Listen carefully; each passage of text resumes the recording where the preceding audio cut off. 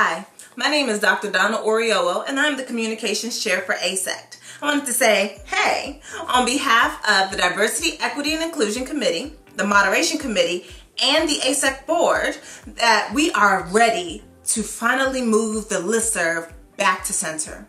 There have been moments in time, and you probably remember some if you think real hard, where we have gotten outside of what the purpose of the listserv is supposed to be, which is that it is to be a positive and welcoming space, a resource for newcomers into the field as well as our seasoned professionals. We are here to exchange information with one another. And sometimes we get off that task. Well, let this serve as a way to get back on track. So, Without further ado, I'm going to talk to you a little bit about the guidelines. The important thing to remember about the guidelines is that they are here to help.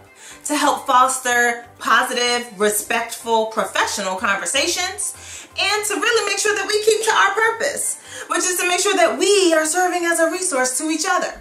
So with that in mind, before you even get to posting, I want you to remember and consider that there is no context when we are in an online forum, right? You cannot see the person that you are posting to, nor can they see you. They see your words. So some of our great communication, the body language, the facial expressions, those things are lost. The second thing that I want you to consider is intent versus impact. Your intention is what you hope to do. Your impact is what you will actually do. So for you, what that could mean is that while you may intend to post this thing and it's not a big deal, but you want to let people know about this thing, the impact may be that you are harmful to others. Your freedom of speech is very much intact. You are not free from the consequences of that speech, however, nor are we free from how our words impact the other people on the listserv. So with that in mind, consider what is your intention in saying what it is that you're saying? How might you need to bridge the gap between your intentions and what the impact may be? And how are you going to respond to your fellows about that impact? The next thing is to remember, we want you to share those resources like they are candy. Share them. We want to know about them. What are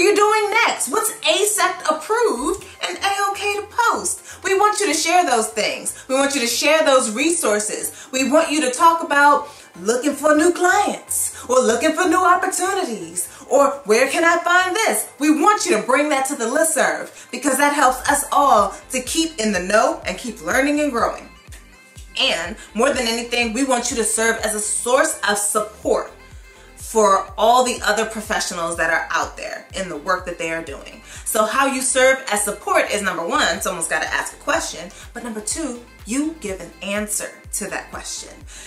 If you know the answer, give the answer. If you have a question, feel encouraged right now in this moment. I am encouraging you to ask your question. There are no such thing as stupid questions but we do want to make sure that we get them out there. This way we are able to answer. This way we are able to engage. So these are just a few of the things that we are encouraging you to do and to consider in your posting on the listserv. We talked a little bit about what's encouraged and what's prohibited. I want to take the moment right now to re-emphasize some things that we really want you to avoid.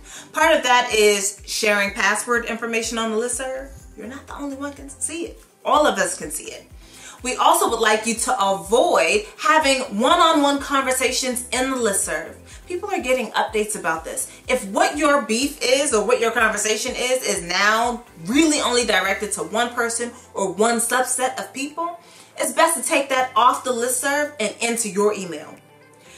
And we also want you to remember that while you are encouraged to talk about politics, we specifically want you to talk about politics related to sexuality.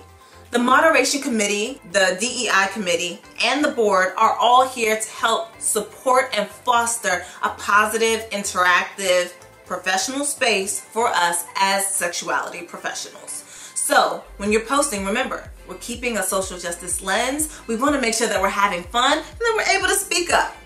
So hopefully these guidelines don't feel too prohibitive because you are free to say all the things that you would like within reason. All right, y'all. Thank you for taking the time to watch this video. Can't wait to see you on the listserv.